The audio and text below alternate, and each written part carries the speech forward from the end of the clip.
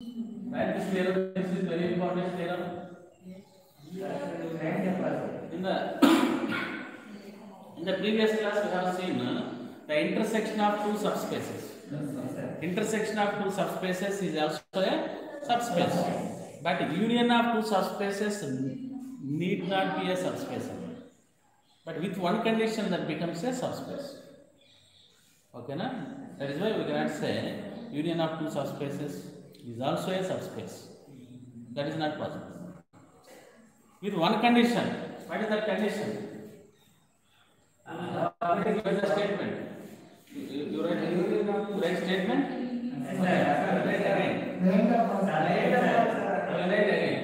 The union of two subspaces is subspace is a subspace if and only one is contained in the in the other. So one is contained in the other contained, one is a subset of the other segment. So let us you can write this statement as like, like this. Let V of F be a vector space, be a vector space, and W1 comma W2 be two subspace.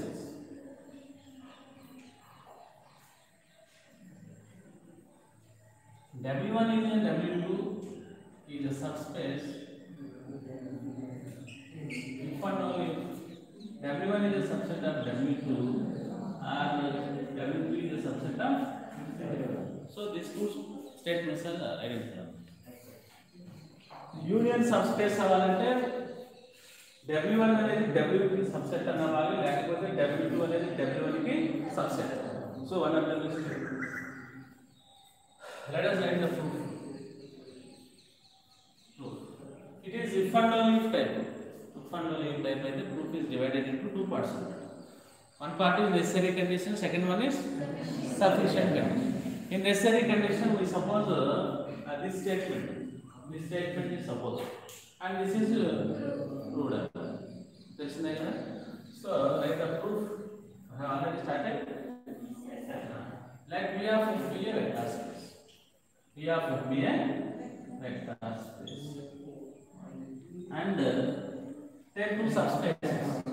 W1 comma W2 be any two subspaces. Subspaces. Of what is our claim here? Sorry. This is uh, what we suppose before the proof right? uh, necessary condition. Necessary condition.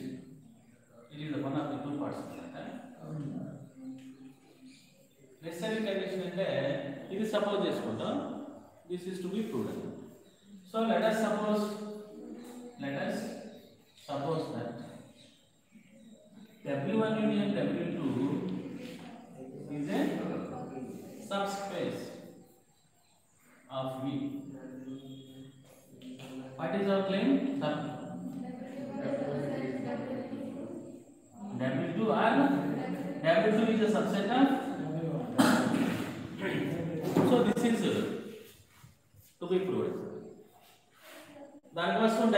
and W2 is a subspace అని మనం వాడుకుంటాం ఎక్కడైనా whenever necessary we use W1 is a W1 union W2 is a subspace actually ఇది has no direct proof direct చెప్పలేం indirect proof అంటే చెప్పాలంటే ఇది కాదు అనుకుంటాం so let us start with the uh, contraction W1 is not a subset of W2 RP opposite to and W2 is not a subset of W1 uh, on the contrary way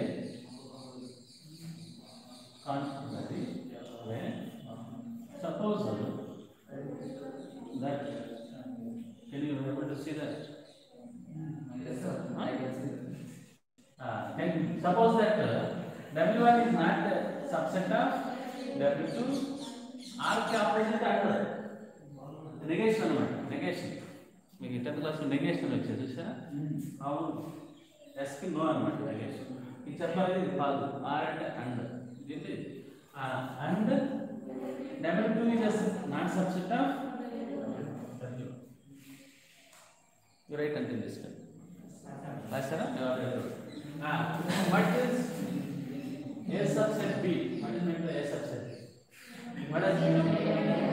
Every element of A is element of A. Every element of A is element. If you take an element in A, that lies in B. A subset A sub A is not a subset of B means what? If you take an element in A, that does not belongs to B. అంటే every element of A is not element of B అని subset కాదు అండి subset అంటే ప్రతి ఏలో ఉన్న ప్రతి below ఉంది కాదు అంటే ఏలో ఉన్న ప్రతి బిలో ఉండదు ఎక్స్ ఏలో తీసుకుంటే X does not belong to B అని మరి ఇక్కడ కూడా W one is not a subset of W two you take the element in W1, that element does not belong to W1. So that x belongs to W1. Take element in W1. Vector. X is if x belongs to W1, that implies x does not belong to W3. Take element in W2. If y belongs to W2, then y does not belong to W1. That implies y does not belong to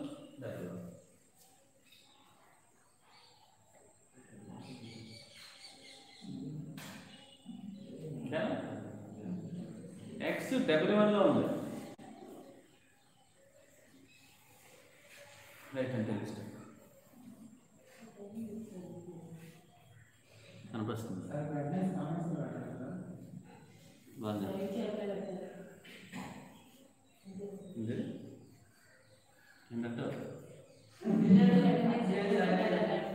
Glenn is going on not you. Yeah, yeah.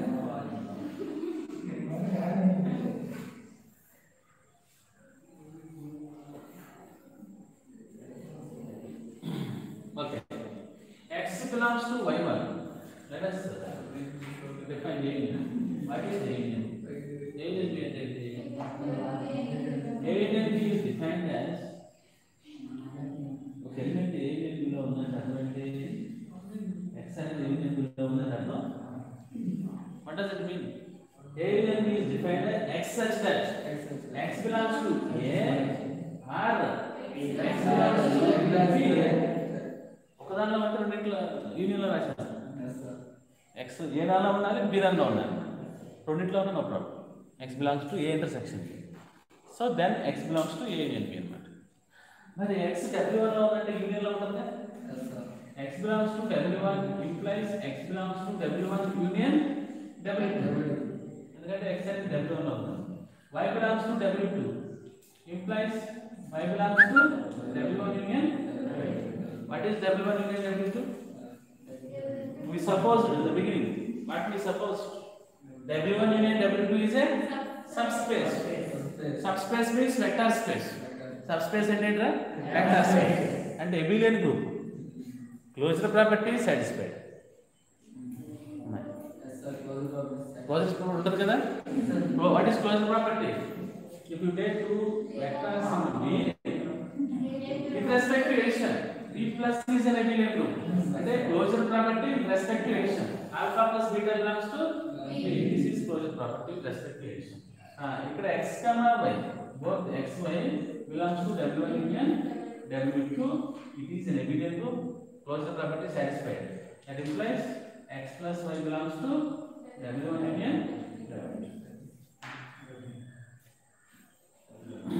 Again, look at uh, x plus y. This vector belongs to union. Union means uh, this uh, may, this vector may lie in W one or W two. Again, uh, that, that, that is for x plus y belongs to W one or x plus y belongs to W two. రెండింటిలో దేనిలోనే ఉండొచ్చు. ఏ నెలలో ఉందంటే దీనిలో ఉండొచ్చు దీనిలో ఉండొచ్చు. Right right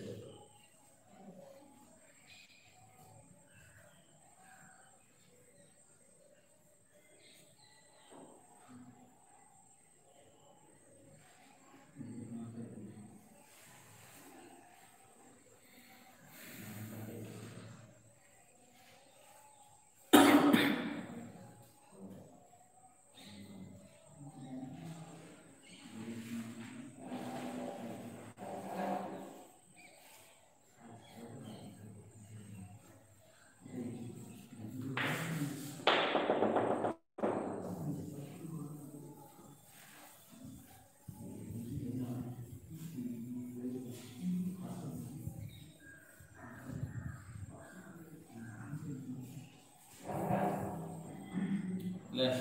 Uh, look at x plus y belongs to w1. Also x belongs to w1. What is w1?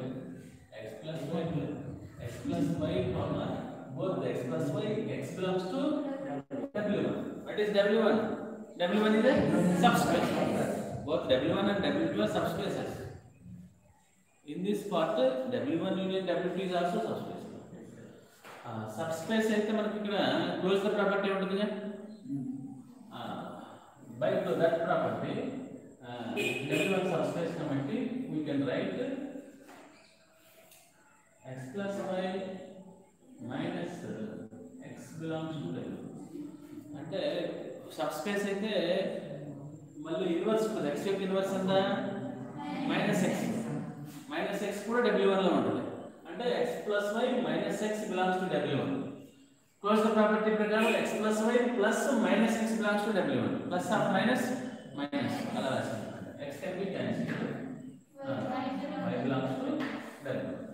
ah but here y does not belongs to w1. Then it is a contradiction.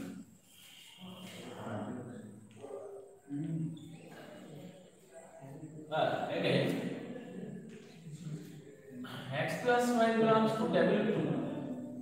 x plus y belongs to W2. y belongs to W2. That implies since W2 is a subspace, closed bracket satisfies, uh, you can write x plus y minus y belongs to W2. This follows, y can be cancelled, x belongs to W2. But x does not belong to W2. It contradicts. It is a contradiction to x does not belong to W. Again we got a contradiction. Contradiction. Why this contradiction arises? ఈ contradiction ఎందుకు వచ్చిందంటే మనకి ఇక్కడ start చేశారా contrary వే suppose అంటే అలా చూసారా? ఇది తీసుకుంటాం వల్ల this contradiction arise so that means our supposition is wrong అనమాట whatever we suppose is wrong what is right అంటే because in opposite is W1 is and its opposite ah, R. W is not, is not the opposite end. W is the subset of L. That is true or not. If you start with the contradiction, uh, contrary way, you will get contradiction. So, therefore, W1 is subset of W2 W2 is the subset of W1 is true this is true. Okay? So, first part is over. First part is over.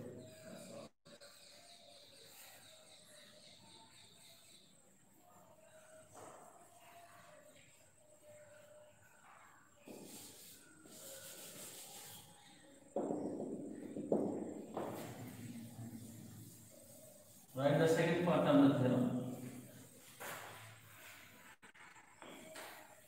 What is the second part? Sufficient condition.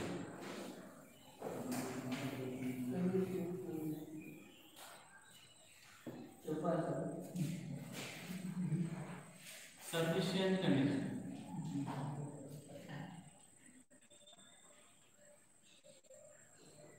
So in sufficient condition, we suppose the right side statement. What is the right side statement? Right.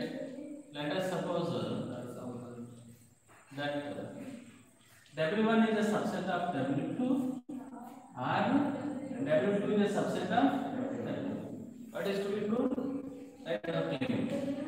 W1 union W2 is a subset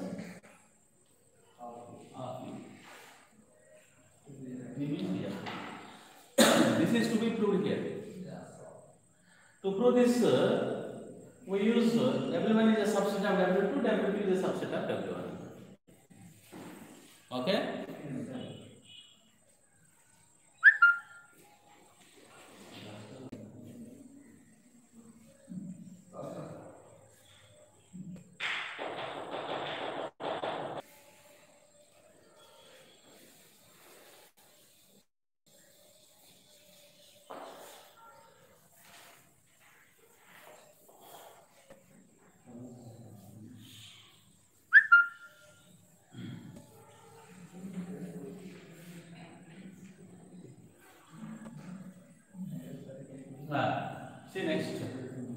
W1 and W2 is a subset that is to be proved here. W1 and W1 is a subset of W2. We know that A subset B is number. If A subset B, and that means A is smaller than B. A is smaller than B. A should be B better. If A subset B, then what is A and B? A and B out there. A and B out there.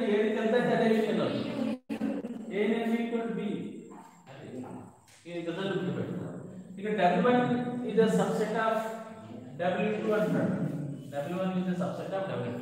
That means W1 union W2 equal what? W2. W2. W2. W2. What is W2? Subspace. W2 is a subspace. If W2 is a subspace, then It is also subspace.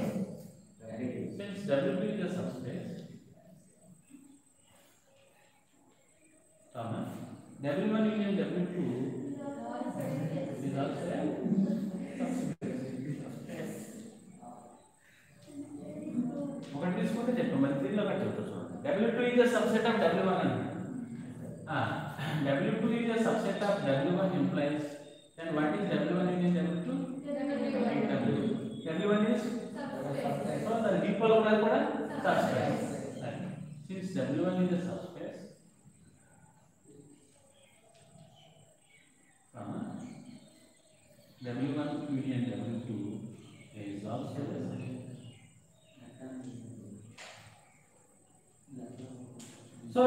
In both cases అంటే ఈ రెండు కేసుల్లోనూ in both cases we proved W one union W two is a subspace in either case either case in the both cases w1 union w2 is a subspace that is the over so you can ask the doubts if any you want to ask me any doubts If you don't have any doubts i will stop the online class Shall I stop?